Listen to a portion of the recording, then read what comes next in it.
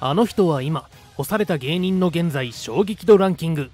誰もが聞いたら名前を知っている。しかし言われてみれば最近全く見ない。入れ替わりが激しいお笑い界ではそんな芸人たちで溢れ返っています。しかし一時でも熾烈なお笑い界で光を放った芸人たちがなぜ干され消えてしまったのか。そして現在はどうしているのかを今回の動画ではお伝えしていきます。第1位は胸を拳で叩くギャグでおなじみのあの懐かしい芸人です。第12位江戸晴美2008年頃にグーのネタでブレイクした江戸晴美しかし2009年以降テレビ出演が激減しそのうち消えてしまいました。性格が悪いとネット上のバッシングが原因でテレビの仕事がなくなったと本人は主張しています。2020年1月1日には YouTube チャンネルエド先生の YouTube を開始しネタやダイエット健康企画ビジネス関係お笑い芸人のヒゲ男爵とのトークなどマルチな内容の動画を公開中です。第11位ムーディー勝山。ムーディー勝山は白いタキシードに黒い蝶ネクタイをしムード歌謡風の右から来たものを左へ受け流すのネタで有名なお笑い芸人です。2005年に勝山真司名義で NSC の一期先輩である梶剛とコンビ勝山梶を組み後にアイスクリームと改名するも2010年6月に解散。解散前の2006年頃からムーディ勝山名義でネタを披露するようになりエンタの神様などに出演しブレイクします。しかし2007年後半には仕事が激減しテレビから干されてしまいました。俺のおかげでお前も飯食えてるからもっと俺に感謝しろ。などの発言を他のお笑い芸人の前で堂々と相方にしていたためお笑い芸人のみならずスタッフからも敬遠されるようになり干されてしまったのです。現在も芸人としての仕事は減ったままですが一発屋であることを逆手に取り同じく一発屋と言われるレイザーラモン HG 三平楽しんご天心木村と5人で再生可能ボーイズを結成しローカル番組に出演。お笑い芸人としての再起に向けて地道な活動を続けています。第10位永井秀和。永井秀和は間違いない気をつけろといったキャッチフレーズの入った漫談でエンタの神様や爆笑オンエアバトルで活躍したお笑い芸人です。しかし2008年頃にはテレビから干され全く見なくなりました。理由としては2007年5月にフィリピンで17歳少女と関係を持ったことや2007年10月アメリカ留学中にロシア人女性との不倫画像が写真週刊誌に掲載されたという女性関係があるようです。これに加え芸風が毒舌だったため多くの芸能人に嫌われ干されてしまったといいます。現在永井はニューヨークに留学もある経験から英語教師をしているようです。その他ダンスチームに所属していてパーティーなどで披露することもあるのだとか。何気に何足ものわらじを履いて多方面で活躍しています。第9位ハンニャズクダンズンブングンゲームのリズムネタで人気を博したカナダサトシと川島明義のコンビハンニャ大人気だったハンニャでしたがいつしかテレビで見ることもなくなる低迷期に。その原因に大きく関与していたのがカナダの遅刻癖だったといいます。オールナイトニッポンなどの連続的な遅刻の末結果的に番組の降板を余儀なくされました。さらにトークも下手なので活躍の場は激減しそのまま消えてしまったのです。現在レギュラーはありませんがそれぞれ地方営業や舞台出演を中心に活動を続けています。また川島に関しては自身の YouTube チャンネルで活動するのが中心で売れない芸人にとって YouTube はまさに助け舟のような存在となっています。2人で活動することもほとんどないため解散したと噂されるほどなのでまた心機一転コンビとしてお笑いに向き合ってほしいところです。第8位世界の鍋圧世界の鍋圧は NSC 大阪校の10期生として入学後山下重則とお笑いコンビジャリズムとして活動していました。ジャリズムの解散再結成や放送作家として活動するさなかちょびひげで銀のスーツのキャラ世界の鍋圧が完成。3の倍数と3がつく数字の時だけアホになりますのネタでブレイクしました。世界の鍋やつは各ジャンルのテレビ番組で引っ張りだこでしたが2010年頃にテレビから唐突に姿を消しました。しかしテレビから消えたのには驚くべき理由があったのです。それは2011年2月に落語修行に取り組むためお笑い芸人を引退およびジャリズムを解散させたこと。世界の鍋圧は桂三氏に弟子入りし講座名は桂三度となり2012年1月3日初講座に上がりました。NHK 新人落語大賞を受賞するなど落語家としても高い評価を得ています。現在も落語はかなりの頻度でライブを行っており1日2回公演するなど精力的に活動してその才能を遺憾なく発揮しています。第7位スギちゃん。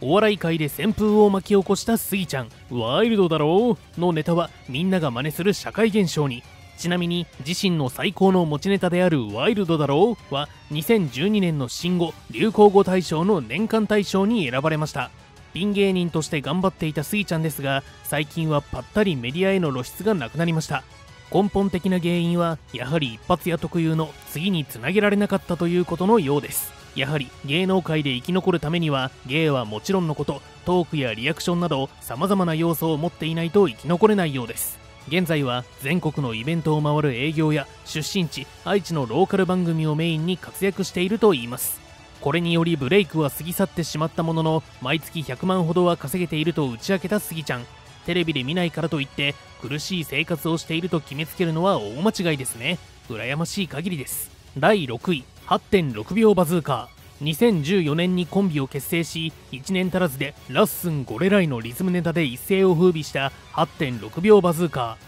デビューして間もなく DVD を発売しさらに2015年3月ナンバーグランド花月で初の単独ライブを開催しました。DVD 発売単独ライブ開催ともに吉本興業所属芸人では史上最速の記録です。しかしその輝きは一瞬で現在はほとんどテレビで見かけなくなりました。現在田中シングルは音楽活動をしておりイベントやパチンコの営業で DJ をしています。一方の浜屋年は現在ピンで舞台でネタを披露しているほか2022年3月から始めたキッチンカーの事業が大当たりでメディアでも多く取り上げられているといい芸人時代より儲かっているとか。第5位ハイキングウォーキング。ハイキングウォーキングは松田博明と鈴木九太郎からなるお笑いコンビ。18番のコーラネタで人気に火がつきました。またかしこまりましたかしこなどふざけて言うネタも人気でした。そんなハイキングウォーキングも最近ではあまり活動するところをメディアでは見なくなりましたがどうやらボケ役の鈴木に原因があるようです。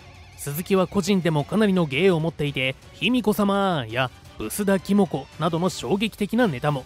そのほとんどが気持ち悪いと思わせるネタでした。そのネタもだんだん本気で気持ち悪がられマイナスなイメージが強くなります。そしてテレビ局には鈴木に対する苦情が多く寄せられるようになり徐々にメディアから消えていったのです。メディアでは登場する機会が少ないハイキングウォーキングは現在地方などの営業をかなり頑張っているといいます。特に鈴木に至っては精肉店で仕事をしていた時の経験からひき肉ができるようで目隠ししても部位がわかるといいます。また最近は大道芸人としてイベントに出演するなど現在は地方でかなり活躍しているそうです。第4位楽しんご。楽しんごはドドスコスコスコラブ注入の決め台詞と当時は珍しかった乙女男子キャラで一世を風靡したお笑い芸人です。芸人になる前は俳優として活動しており20歳から V シネマに出演していました。2006年から芸人へ転身しエンタの神様などで人気を博しました。ラブ注入は2011年の新語・流行語大賞でトップ10入り。しかしこの後パタリとテレビから消えてしまいました。メディアから姿を消した楽しんごですが現在は別の仕事で大成功を収めていました。楽しんごは整体師であることがテレビ出演時から有名でしたが現在は高級整体院をいくつも経営しリッチな生活をしているようです。もともと整体師という肩書きも持っていたのでそれを活かして YouTube でマッサージの紹介などをしています。芸人よりも整体師としての方が活躍できるかもしれませんね。第3位日本エレキテル連合。日本エレキテル連合はダメよダメダメというセリフとインパクトのある白塗りの女性と男装の2人が繰り広げる未亡人あけみちゃんシリーズのネタでブレイクしたお笑い芸人です。ダメよダメダメは2014年の新語・流行語大賞の年間大賞を受賞し社会現象になりました。そんな日本エレキテル連合は2015年頃にテレビから消えてしまいます。一発屋になりたくないという本人たちの意思で未亡人あけみちゃんシリーズのネタを早々に封印したり中野聡子は極度の人見知りで橋本小雪はトークが下手なためバラエティ番組に馴染めなかったということも理由に挙げられています。そんな日本エレキテル連合ですが2013年8月19日から YouTube チャンネル日本エレキテル連合の関連パラレルを開設しており現在も続けています。ネタを中心に投稿し登録者数は2023年11月時点で15.5万人。一番の人気動画は507万回再生されている人気チャンネルです。テレビからは干されましたが YouTube で成功しライブも行うなどお笑い芸人としての活動は順調のようです。第2位隅田美穂。アジアンの隅田美穂は馬場園あずさとコンビを組み2005年の m 1グランプリ決勝に初めて女性同士のコンビで駒を進めるなど漫才師としての実力は本物でした。しかし隅田は婚活を理由に2015年から芸能活動を一時休止するなどモチベーションが著しく低下し2021年6月にコンビを解散すると昔からの夢であった舞台や女優として活動することに。近年は深夜ドラマに脇役で出演するなどじわじわと女優として活躍し始めています。実は隅田は芸人時代から吉本所属の芸人やタレントが監督や出役を務める作品で監督や脚本主演を務めるなどしています。解散理由として挙げた女優転身は唐突なようで実は彼女にとっては自然な流れだったのかもしれません。元相方の馬場園は気持ち的には今が一番楽しいんやろうなと思って一緒にやってる時はそこまで生き生きしてなかったと話しています。